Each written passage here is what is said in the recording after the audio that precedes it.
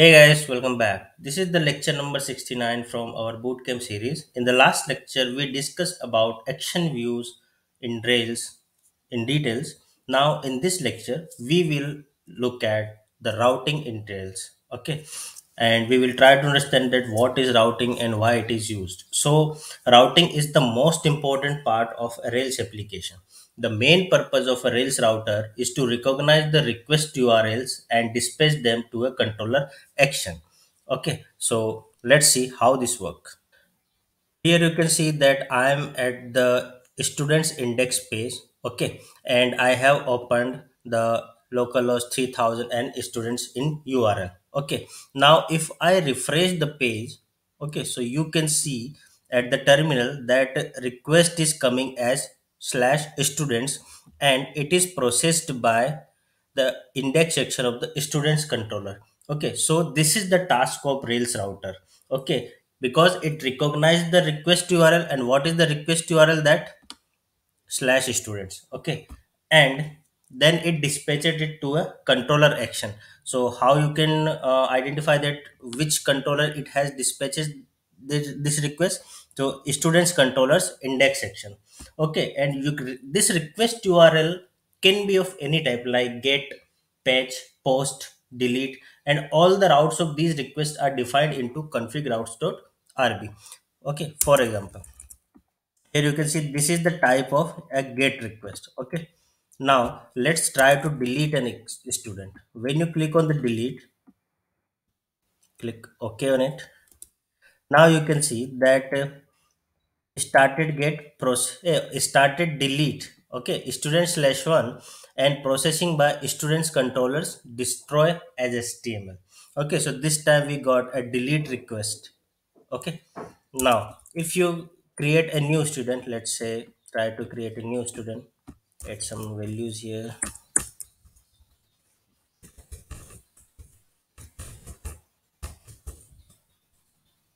And add a date of birth let's say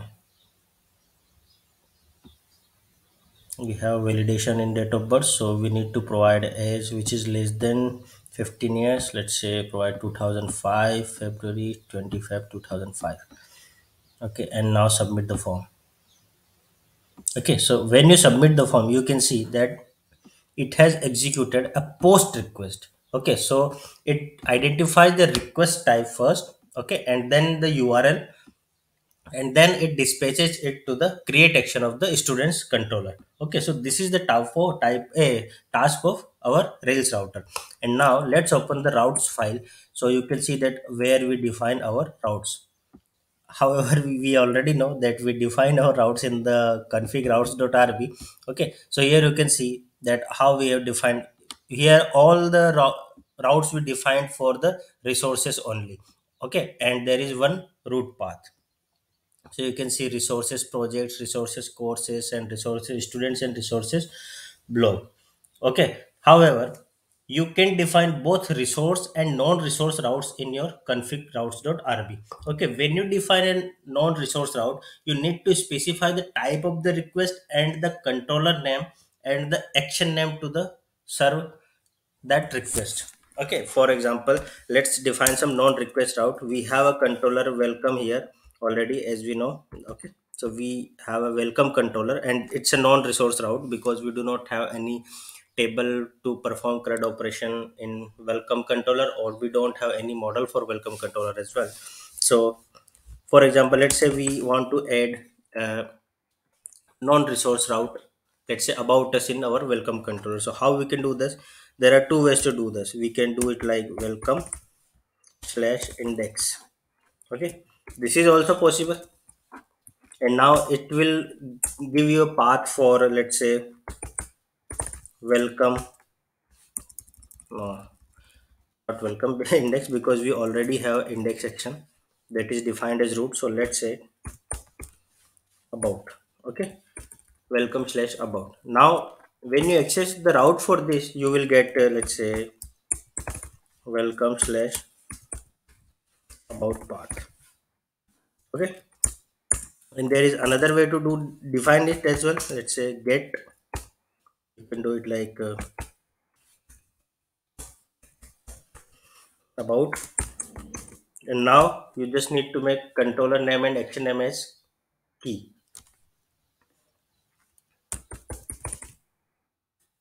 Welcome hash about.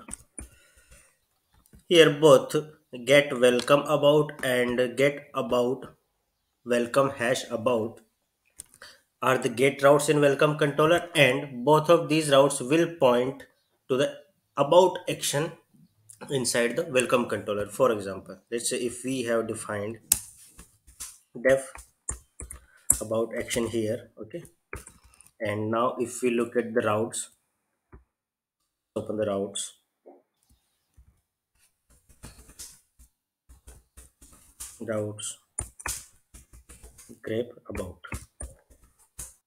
We you can see that we have two routes here. Welcome underscore about okay and one is direct about. And you can see the url pattern here as well. This about welcome about or this format will be accessed as let's say localhost colon 3000 slash slash about now if you try to access this it in your browser you will get that no template exists. Because we really don't have template for that.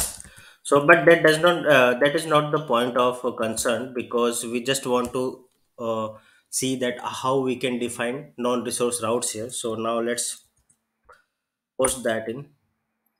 Okay so you can see that welcome control about is missing a template for request format text html okay and now if you go look at the terminal you can see that this request is coming at the slash welcome slash about and processed by the welcome controllers about action. Okay now if you visit this only let's say remove the welcome from the url and let's visit only slash about. Make some space here. And now hit the enter. You will get the same error okay? And you will get the path now let's say uh, started get slash about processing by welcome controller about as html okay? And completed 406 not acceptable. Okay? So this is how you can define non-resource routes in your routes file. Similarly you can do follow the same format for defining your uh, let's say post routes patch routes and delete routes. And the other type of routing that we can allow here is the resource routing.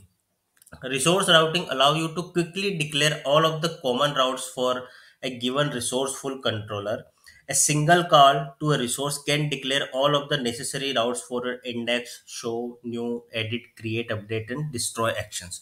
Okay for example if you can if you look at the st- students controller then you can see that we have seven required actions which is required to perform CRUD operation in a Rails application over the student's pro- uh, object or or any active record object that is index new create show edit update and destroy.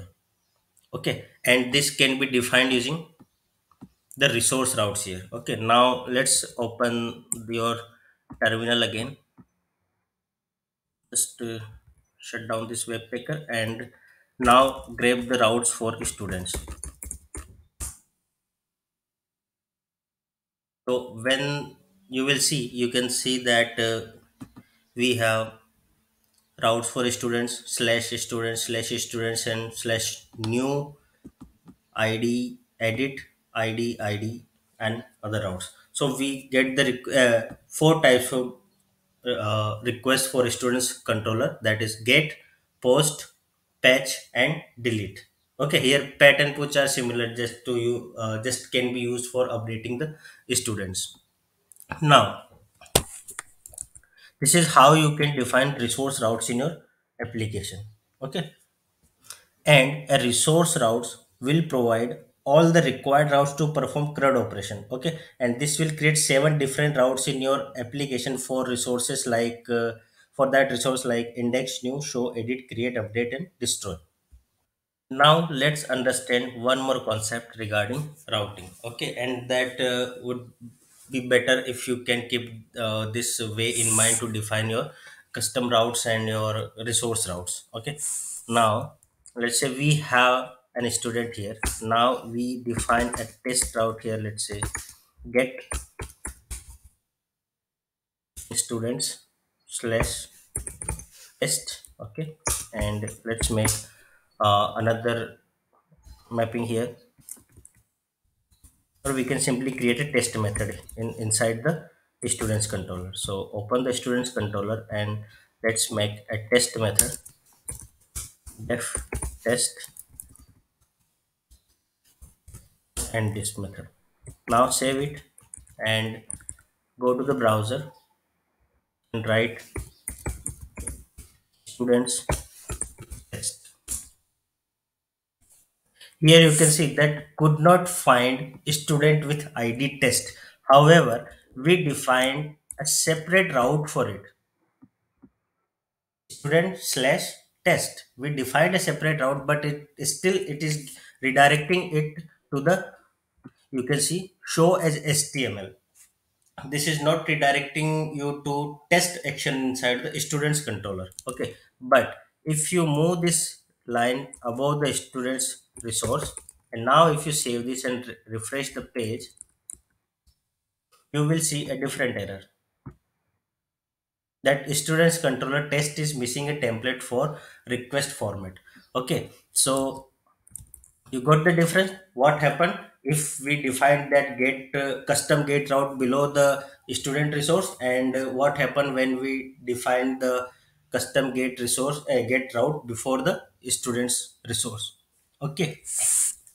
The reason here is the Rails routes are matched in the order they are specified. So if you have a resource resources students, let's say above a get resource test, the show actions route for the resource line will be matched before the get line. Okay, to fix this, you need to define your get request or your request like uh, with which is having some path like let's say student slash or your resource name slash some other action then you must define those paths before your resource routes okay else you will get such kind of conflict okay because when you do that then your custom routes will be identified first and then your resource will get identified.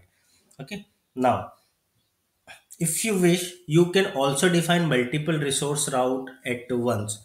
Uh, for example here we have defined student projects courses students blogs okay? Now what we can do that we can define simply like this. Courses blogs and projects. Okay this is also a fine way to do that. But this approach is preferable only when you need only resource routes not member or collection route for them or not do not need any name space or scope routing for a resource. Okay so it would be better if you can define them uh, individually okay? But if you are clear that you never need any member or collection method for that that we gonna discuss in the next lecture for your routes then you can define multiple resource route in one line. Okay? So for now we will definitely add member and collection route. So i'm just uh, uh, defining it as one only. And let's remove this test route as well. And remove this action as well because that was just to show you how we should define our routing in an order okay. So just to try to follow these routing practices that we see that what we cover already covered in this lecture that what are the resource and non-resource routes how to define non-resource routes and what are the ways to define resource routing in a rails project and what happen when we define custom non-resource route above uh, our resource route and or below our resource route so we already saw the difference and we already saw that how router works and how it identifies the url and how it dispatches the request to the controller action. Okay so that's all from this video. I know this is very brief about the routing but as we practice more in coming lectures and with this lectures approach that we will get more better about it. Okay so in the next lecture we will cover member and collection routing which is the most important routing types in rails and we frequently use them when we're working on a uh, rails application which is uh, quite uh, lengthy or quite good uh, good enough in length okay? So we need to work on uh, member and collection routes so many times okay? So and we will discuss that in next coming lecture. So thanks for watching this and let's meet into the next lecture. Till then tata goodbye. Take care 这谁呀